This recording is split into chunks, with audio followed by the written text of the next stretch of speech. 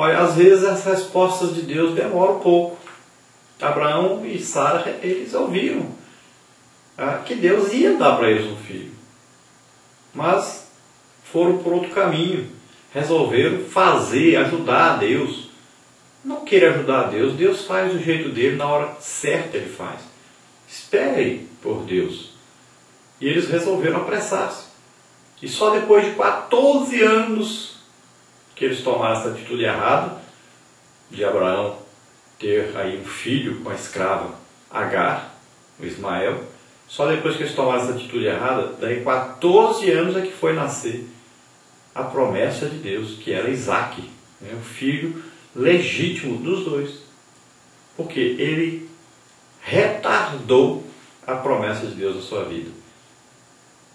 Era para nascer logo o seu filho, mas aí com essa atitude errada foi prorrogada então a bênção. E ele só depois de 14 anos é que foi receber a bênção do Senhor. Então veja bem, espere no Senhor, tenha paciência. Este problema vai passar. Essa fase vai passar. Agora tenha paciência. Você tendo paciência, perseverança, você crendo, tendo fé, isso vai passar e você vai se tornar mais experiente e vai ser mais usado por Deus na obra de Deus. Então creia nisso, tenha paciência e sempre consulte a Deus, ore ao Senhor. Vamos ver agora o nosso questionário para nós aprendermos um pouco mais da lição e nós vamos dar as respostas do questionário. O questionário você encontra aí no nosso site e em outros sites também. Então você, sempre aqui nos vídeos, você encontra as respostas, só as respostas verdadeiras que nós damos aqui nos vídeos. Vamos então ao nosso questionário. Então a nossa primeira pergunta, dentro do texto áureo, para completar. Então aqueles homens israelitas tomaram da sua provisão e não pediram conselho à boca do Senhor. Josué 9,14 a nossa verdade prática para completar, a falta de oração na vida dos crentes leva-os a decisões precipitadas. Número 3, aí para completar, há bênçãos divinas para os que se propõem a orar com regularidade e afinco. Há também consequências desastrosas para aqueles que são negligentes nessa prática. Parte 1. Quando o homem ora, mas não obedece. Então, número 4, por que Jonas é um exemplo de crente que não quer fazer a vontade de Deus? Então, é de se esperar que um homem chamado por Deus dependa exclusivamente dele para realizar o trabalho proposto. Como Jonas, muitos decidem por si mesmos o que fazer e o modo como fazer. Esquecem-se de buscar a direção do Senhor que os chamou, pois querem seguir a sua própria vontade. Número 5. Jonas tinha comunhão com Deus, conhecia a vontade do Senhor e sabia exatamente o lugar para o qual Deus o tinha chamado. O que fez Jonas? Então decidiu por conta própria ir para outro lugar, longe da presença do Senhor. A desobediência de Jonas quase causou a morte de todos no navio. Número 6. O que aprendemos com esse episódio? Para completar aí. Através desse episódio aprendemos que a nossa desobediência pode trazer prejuízos àqueles que estão próximos de nós ouça e obedeça a voz de Deus. Número 7. Jonas estava consciente da sua desobediência. O que lhe aconteceu? Ele sabia que a tempestade era por sua causa, por isso não hesitou em dizer: lançar-me ao mar. Jonas tentava fugir da presença de Deus. Se não fosse intervenção milagrosa do Senhor, ele teria perecido. Dentro da barriga do grande peixe, Jonas clamou a Deus. O Senhor, que é grande misericórdia, está sempre disposto a perdoar, ouviu a sua oração. Jonas teve de ir para o ventre de um grande peixe para aprender a respeito da obediência. Então veja bem que antes de viajar, Jonas não consultou a Deus, não orou a Deus, não se submeteu à vontade de Deus. Foi preciso então, foi preciso então Deus colocá-lo dentro de um grande peixe. E ali dentro ele começou a meditar sobre a bondade e a misericórdia de Deus. E ele se arrependeu de não ter obedecido a Deus. E ele agora ora arrependido. E Deus ouve a oração de Jonas e manda que aquele grande peixe vomite na praia para que ele possa novamente tomar a direção que Deus havia lhe ordenado. E ele agora segue para Nínive e na grande cidade de Nínive ele prega então a mensagem que Deus havia lhe enviado para pregar, a mensagem de arrependimento, porque toda a cidade seria destruída. E aquele povo então se arrepende. Não por causa da linda pregação de Jonas, nem porque a pregação foi ungida, nem porque a pregação foi boa, nada disso. Não foi porque o profeta estava agora é, desejoso que o povo fosse salvo, não.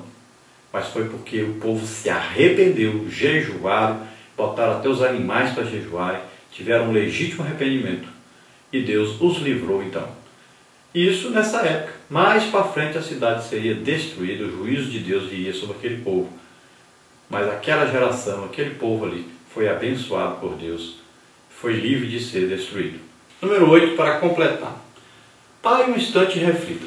O que é necessário acontecer em sua vida para que você se disponha a obedecer a Deus e ter uma vida de oração? Não seja como Jonas. Então você mesmo responda: o que é preciso acontecer? É preciso colocar você no ventre de um peixe? É preciso tirar de você alguma coisa? O que é preciso fazer para que você comece a ouvir a palavra de Deus, a atender a vontade de Deus, a consultar a Deus? O que é preciso fazer? E Deus sabe o que é preciso fazer e Ele vai fazer porque Ele te ama e Ele quer que você comece a ouvi-lo, comece a fazer aquilo para o qual Ele te chamou. Então Deus vai colocar você no lugar que você precisa estar para ouvir. Não reclame. Aceite, porque Deus é Deus e Ele sabe o que você precisa. Glória a Deus. Vamos ver número 9, aí na segunda parte, deixando de buscar a direção de Deus. Então, número 9, quando o povo de Israel estava se estabelecendo na terra que o Senhor havia prometido a seus pais, os moradores de Gibeão, com astúcia, vieram até Josué para fazer um acordo de paz. Veja Josué 9, de 1 a 15. O que fizeram Josué e os líderes do povo e quais as consequências? Então, Josué e os líderes do povo cometeram um grave erro, não buscaram o conselho de Deus. Assim, sem orar e buscar a direção divina, fizeram concerto com os gibeonitas. Essa decisão imprudente trouxe os cananeus para dentro de Israel. Além disso, o povo de Deus precisou entrar em guerra para honrar o pacto que havia feito fora da direção do Senhor, a fim de proteger aqueles que os haviam enganado. Então nós já estudamos isso aí naquele trimestre onde estudamos sobre Josué.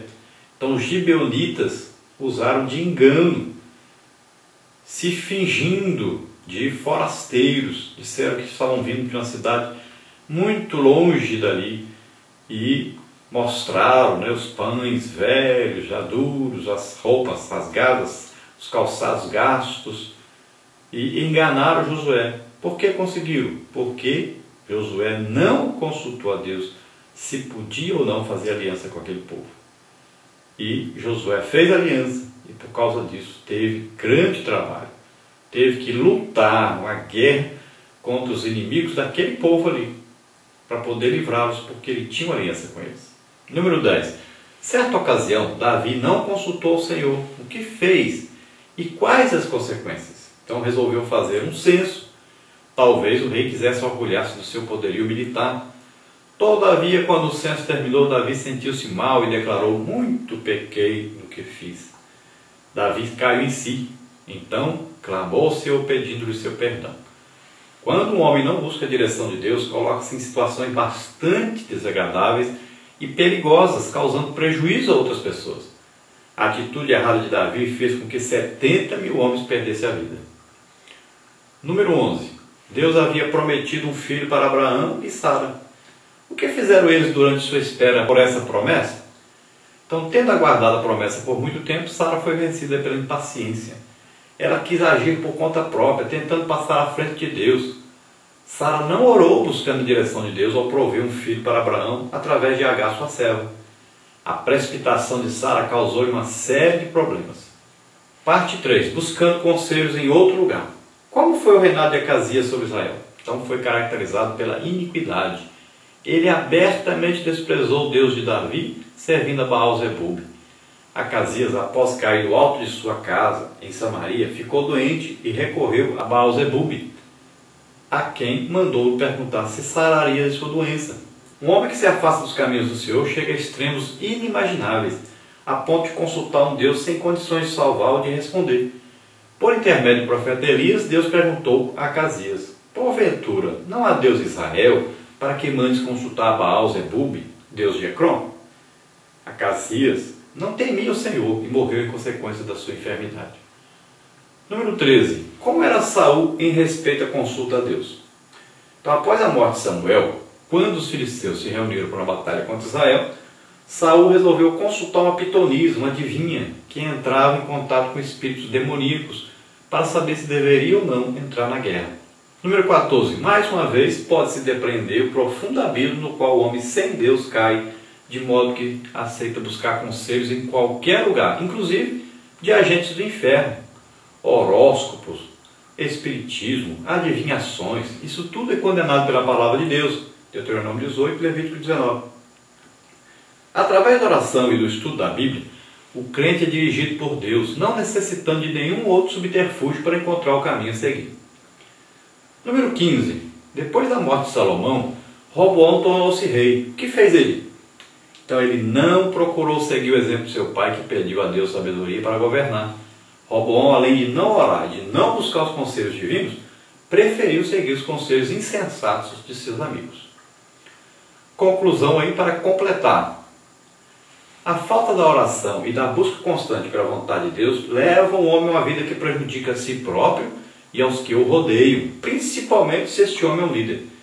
Que o Senhor, em sua infinita misericórdia, nos dê forças espirituais para estar sempre a seus pés em oração, buscando sua direção para a nossa vida e para o desenvolvimento do trabalho que Ele colocou em nossas mãos. Ele está sempre disposto a ouvir e atender aquele que o busca de coração. Glória a Deus, aleluia.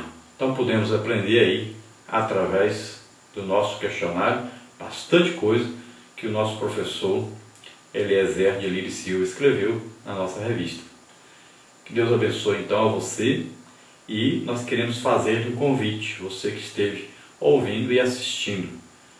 Se você deseja entregar a sua vida para o Senhor agora, começando uma vida nova com Deus, arrependido dos seus pecados, Vamos orar juntos agora. Entregue a sua vida para o Senhor e entregue aí os seus desejos para o Senhor e confia nele.